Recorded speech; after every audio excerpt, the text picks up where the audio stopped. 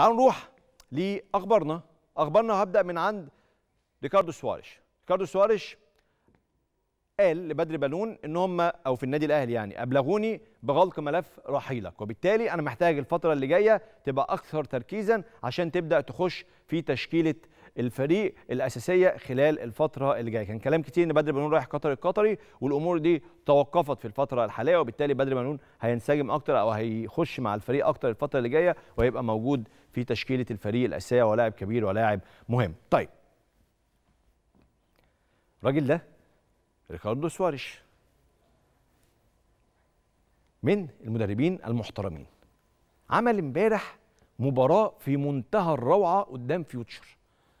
في منتهى الروعة. تعالوا بقى نتكلم شوية عن سواريش.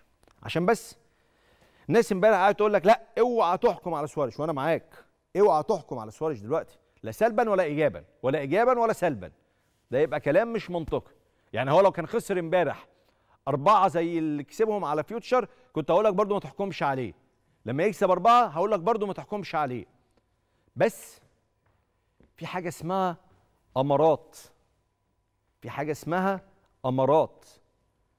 إحنا شفنا الأمارات امبارح. شفنا كام أمارة كده. شفنا كام حاجة مهمة كده. سواريش عمل كام لقطة من اللي كان بيعملهم في البرتغال. هتقول لي يا راجل لحقت؟ آه هقول لك لحقت. أصل هي الكورة مش صعبة. الكورة مش حكاية. الكورة مش أزمة. هتقدر تشوف ده إزاي؟ هقول لك. إيه رأيك في الضغط العالي اللي كان الأهلي بيعمله امبارح على فيوتشر؟ إيه رأيك في زمن استخلاص الكورة اللي الأهلي كان بيعمله امبارح على فيوتشر وتحديدا في الشوط الأول؟ هتقول لي يعني إيه زمن استخلاص الكورة؟ هقول لك يعني الكورة لما تبقى مع فيوتشر الأهلي بيعرف ياخدها تاني في فترة قد إيه؟ عد عدد الثواني. الأهلي زمان كان الفريق اللي قدامه بيقعد مهما كان الفريق صغير أو كبير يقعد يتناقل الكرة والأهلي ما بيخشش ياخد الكرة هو بيستناه بيقول له تعالى لي وأنا هبقى أخدها وأبني تاني. لأ. لأ. الضغط العالي وهنشرحها النهارده مع زمايلنا. الضغط العالي يعني إيه ضغط عالي؟ يعني المدافعين ولاعيب الوسط والمهاجمين بيخشوا على منطقة الخصم يحاولوا يضغطوا عليهم عشان يخطفوا الكورة. الضغط العالي ده لابد معاه يكون استخلاص سريع للكورة عشان لو ما استخلصتش الكورة بسرعة هيبقى عندك انفرادات. فاكر الأهلي لما كان بيبقى عليه انفرادات كتير؟ كان ده السبب. إنك ما بتستخلصش الكورة. إن يبقى عندك مشكلة. إنك آه صحيح بتضغط بس بتضغط غلط. فامبارح ضغط الأهلي كان سليم. امبارح استخلاص الكورة كان سريع. والأهم والأهم امسك في دي معايا. طاهر محمد طاهر. محمد مجدي قفشه حسام حسن. ما بكلمكش على طاهر محمد. طاهر امبارح عشان اتصاب مبكرا بس المباراتين اللي قبليهم أو الثلاث مباريات اللي فاتوا. طاهر تحسن كثيرا كثيرا. محمد مجدي قفشه من ثبات عميق ولاعب قرب يختفي للاعب في منتهى الروعة مرة أخرى. حسام حسن ما كانش موجود أصلا في قائمة النادي الأهلي أكنه مش موجود. حسام حسن امبارح عمل مباراة كبيرة. الراجل ده عمل إيه بسرعة؟ لعب على الحتة المعنوية. لعب على الحتة المعنوية بسرعة جدا. قفشة أنت لاعب كبير. حسام حسن أنا هستفيد منك الفترة اللي جاية. طاهر محمد طاهر كنت أسمع عنك كلام كتير. وروني. فاللعيبة معنويا تحسنت فنيا تحسنت. الأهلي من بعد مباراة الجونة خد كام يوم كده راحة. فرقوا معاه بدنيا في المباراة امبارح أمام فيوتشر فالأمور كلها اتظبطت. هل ده يا سيدي معناه إن سواريش ده المدرب الخيالي العظيم اللي هيخلي الأهلي أعظم نادي في العالم ويلعب في دوري أبطال أوروبا. ما بقولكش كده. بقول لك إنه عنده أمارات حلوة. زي ما الناحية الثانية جوزوالدو بيريرا تحديدا أو حرفيا بيعمل المستحيل مع الزمالك. هتقول لي يعني إيه المستحيل؟ هقول لك قايمة تقريبا فاضية. ما فيهاش غير التشكيلة اللي بتشوفها في الملعب. راح جاب مجموعة شباب واداهم الثقة وخلاهم يأدوا مباريات كبيرة جدا. اللاعبين اللي كانوا عمالين يفكروا في عقودهم ومشاكلها بقى همهم الأول دلوقتي إن هم يلعبوا مش عقودهم. فخل أو اجبر اللاعبين إن هم يركزوا. أعاد محمد عواد للتشكيلة الأساسية وفرق معاه معنويا عشان يتألق محمد عواد في مباراة أمس وفي المباريات الماضية. والزمالك وهو في نص الموسم تحس كده انه اشترى أربع أو خمس لعيبة جداد. لما طلع شبابه الرائعين.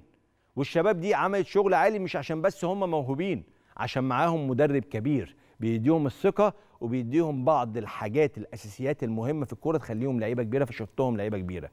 أنا بصراحة سعيد بمستوى الأهلي وسعيد بمستوى الزمالك. سعيد بمستوى المدربين وفرحان بمدرب منتخب مصر. كل ده كل ده هيفرق مع الكرة المصرية.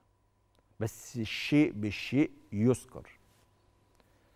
يا جماعة يا ناس يا محترمة يا كبيرة يا مثقفة يا متعلمة. مين بني آدم في العالم حتى لو بيحب فريق تاني يفكر إنه ينزل يفوت له؟ ليه يعني؟ مين قال لك إن أنا أحب النادي اللي, اللي أنا بحبه؟ أي نادي؟ أكتر من نفسي أكتر من شغلي. حط نفسك مكان أي حد. أنت راجل أهلاوي أو زملكاوي ونازل تلعب قدام الأهلي أو الزمالك. عشان انت بتحب الاهلي أو الزمالك هتحب انك تخسر قدامهم؟ طب وانت؟ انت مش مشكلة؟ أكيد انت بتحب نفسك واكيد بتحب نجاحك. فلا مدرب هيفكر في التفويت ولا لاعب هيفكر في التفويت حتى لو بيعشق تراب النادي اللي بيلعب قصاده ده. مستحيل. يا جماعة الكلام ده كلام ينفع نقوله من 20 30 سنة وكان هيبقى كلام فارغ برضه. بس دلوقتي ما ينفعش يعني. عيب. عيب يعني عيب قوي. أنا أنا أنا مش متخيل أصلا أنا دلوقتي مضطر أناقش أناقش حاجة زي دي. يعني إزاي؟ بس أنا ناقشتها عشان اتفاجئت إنه لأ ده في ناس كبيرة والمفروض إنها عاقلة المفروض إنها متعلمة ومطلعة بتتكلم في الأمور دي. إزاي يعني؟ إزاي يعني؟ إزاي؟ ده تحديدا. يعني ولا الكابتن علي ماهر أكيد يعني راجل بيحب شغله وبيجتهد وعمل أداء رائع وكسب الأهلي قبل كده وهو بيدرب الأسيوطي اللي هو كان قبلها قبل ما يبقى اسمه بيراميدز كسب الأهلي وهو فريق كمان الاسيوطي كان لسه فريق صغير وكسب الأهلي ما فوتلوش وكان في الكاس على ما أتذكر. و الناحيه الثانية يقول لك أصل أحمد علي ضيع ضربة الجزاء عشان كان بيلعب في الزمالك. يا جماعة في الكلام ده؟ يعني أنا أحمد علي بقاله كام سنة أصلا سايب الزمالك؟ كابتن علي ماهر ده بقاله كام سنة معتزل من الأهلي. سجل كام مرة أحمد علي بعد ما ساب الزمالك في الزمالك؟ والكابتن علي ماهر كسب الأهلي كام مرة؟ خلاص بقى كفايانا كلام مش منطقي ومش طبيعي. مش طبيعي. يعني مستحيل. انت عارف أنا لو شفت الفرقة كلها بتدخل الجوال في نفسها يعني لو شفت فيوتشر أو المقاولين راحوا جابوا جوال في نفسهم مش هقول تفويض. هقول مش قاصدين برضه شوف بقول لك إيه لو راحوا جابوا الجوال في نفسهم هقول مش قاصد مش قاصدين. عشان أكيد دول عندهم طموح. اللاعبين دي عندها طموح. المدير الفني عنده طموح.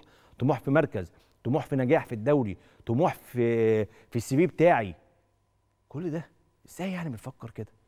يعني ده كان الشيء بالشيء يذكر طيب الأهلي وعد لاعبي الفريق بالإفراج عن مستحقاتهم المالية لو أو جزء من المستحقات المالية لو فازوا على بيراميدز في المباراة القادمة ووعدهم كمان بمكافأة خاصة في حالة الفوز على الزمالك في نهائي كأس مصر. أنتوا عارفين إن الأهلي كان واقف مستحقات اللاعبين بعد النتيجة أو بعد التعادل مع الجونة وحس إنه في كان استهتار من بعض اللاعبين.